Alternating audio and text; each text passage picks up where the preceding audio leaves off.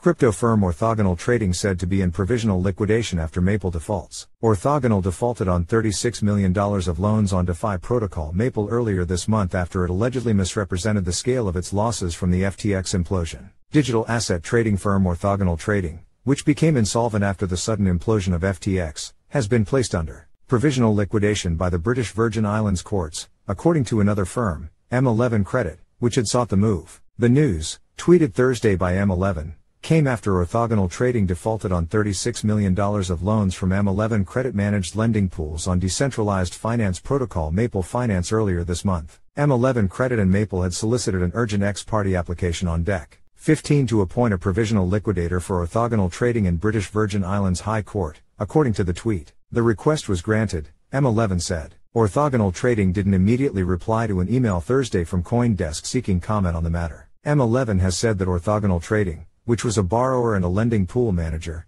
misrepresented its losses in the FTX collapse and operated while insolvent for weeks before missing payment. Maple has booted orthogonal trading from the platform. Depositors in impacted lending pools are facing up to 80% losses. Earlier this month, Orthogonal Trading acknowledged in a statement that it was severely impacted by the collapse of FTX and had been working closely with a potential strategic investor regarding fresh funding to cover all outstanding liabilities, with good progress being achieved, but the money didn't come through in time to meet a $10 million payment due. Officials with the firm's own lending unit, Orthogonal Credit, put forth their own Medium post claiming they were kept out of the loop on the depth of Orthogonal Trading's financial troubles. According to M11 Credit, the BVI court's decision allows the appointment of a liquidator to recover assets from Orthogonal Trading. Given Orthogonal's bad faith, M11 Credit and the Maple Foundation took this step to preserve the value of the assets and to seek to return maximum value to lenders, M11 Credit said. M11 Credit and Maple contracted Kroll, a US based corporate investigation and risk consulting firm,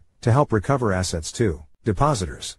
Beleaguered trading firm Auros Global, which also has outstanding debt to Maple credit pools managed by M11 Credit, applied for provisional liquidation of its own accord on the British Virgin Islands last month to pursue restructuring its debt.